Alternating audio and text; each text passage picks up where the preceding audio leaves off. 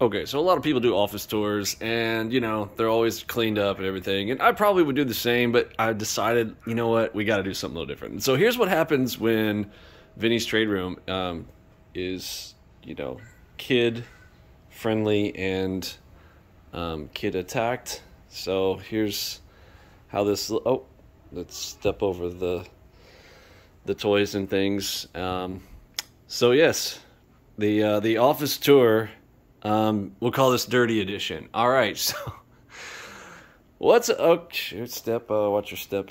All right, so we're gonna come in here and um, uh, yeah, Gi- Gigantosaurus mess messicus. Um, so when you got sick kids, we got the uh, the inhalable stuff going on here. We've got workout stuff. Um, here's where I like to play. You know, if I'm going to come over here, I'm going to play some games. We're going to get some Battlefield 2042. We'll have a little more time with this soon. Um, where I crash out some nights when I'm doing my all-nighter code events. I do my best work when all the kids are asleep and wifey's asleep and everything's super silent. So yeah, this is a very, very, very cushy couch. Um, I crash here quite often. Nice little. We got a partial set up right here.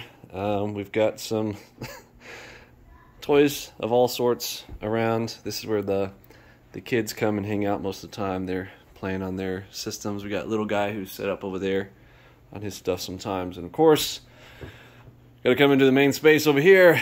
And there, there you go. Now you've seen the office when it's big giganticus messicus. And uh, so here's usually the view you guys get. You know, we have this little tiny camera right here. So there it is. Now you've been on uh, Vinny Emini's um, messy office tour. You're welcome.